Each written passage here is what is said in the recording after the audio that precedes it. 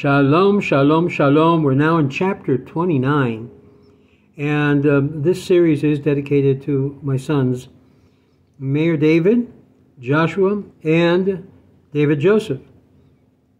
Chapter 29, Ramban begins Read this letter once a week and neglect none of it.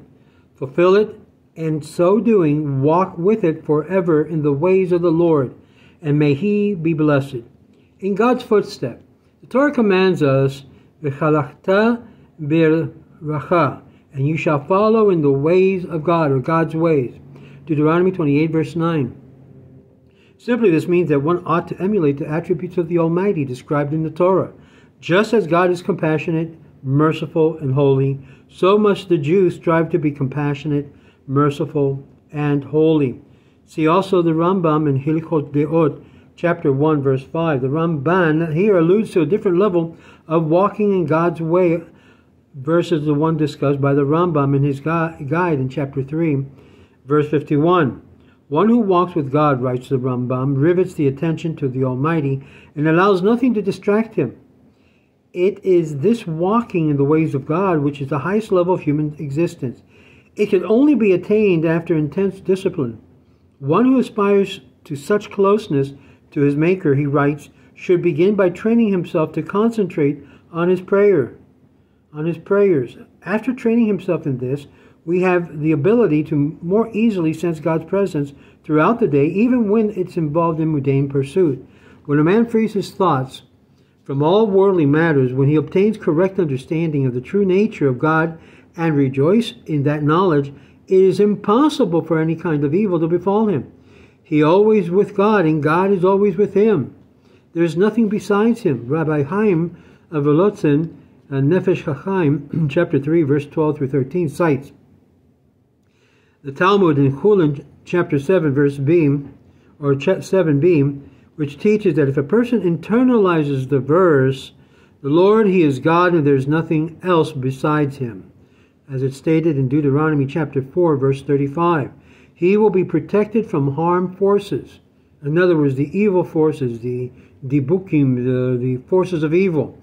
When one accepts God's absolute sovereignty, he places himself fully under his protective wing, as it's indicated in Psalms 91. Although the nature contains many destructive elements, the man of faith understands that they are but marionettes in the hand of the Creator. Nature's leash. The Brisker Rav, Rav Yitzhak Zev Soloveitchik, was a def, uh, descendant of Rav Haim Volotzin, the author of the Nefesh HaChaim. He testified how the statement of faith recorded in Nefesh HaChaim literally served as a guide through his life. When he was a young man, Reb Vevel, as the Brisker Rav was fondly known, was commanded to appear before the Russian draft board to be inducted into the Tsar's army. This fate was tantamount to both spiritual and physical death sentence. As the date of his appearance, neared, his father, Rav Chaim Brisker, instructed him to concentrate on the above passage from Nefesh, from, from Nefesh Chaim. To Rabbi Vevel's great relief, his meeting with the draft board came and was exempted from the draft. Later, the Germans occupied Poland, and at the beginning of World War II, Vevel fled from Warsaw to Vilna. The roads were filled with German troops, and Nazis were everywhere. The danger was awesome, yet Reb Vevel traveled along undaunted. He never stopped to review the pledge of Nefesh HaChaim. If you always think of God, He will always think of you and protect you from all harm. Think always on God. Just once, Revel was distracted and his mind wandered onto another place, another thought. Immediately, as if, as if from nowhere, an armed Nazi approached him threateningly. In a flash, Rebel Reb Vevel collected his thoughts and focused on Nefesh HaChaim, and the Nazi moved on. Rabosenu, page 170. Rabbi Yosef Leib Bloch of Telshe, in Shiurei Da'as, chapter 2, verse 44, explains that the natural forces which threatens mankind, mankind can be compared to a vicious dog with a long leash tied to its neck.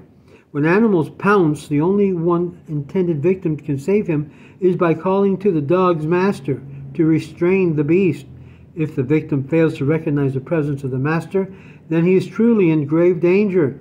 Similarly, the man fails to perceive the leash upon the forces of nature. He indeed places himself at their mercy. And we end at chapter 29 of the letters for the ages. Our next video, chapter 30, which is the last chapter of the Sefer. Shalom, shalom.